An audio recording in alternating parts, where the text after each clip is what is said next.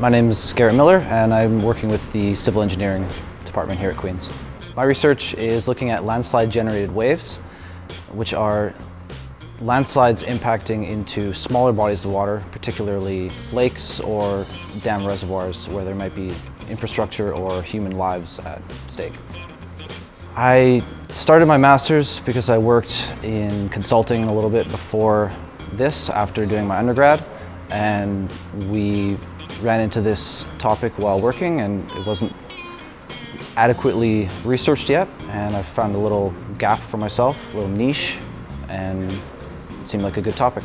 I came to Queen's because uh, it's one of the best engineering schools in Canada and they have large and impressive uh, physical modeling facilities.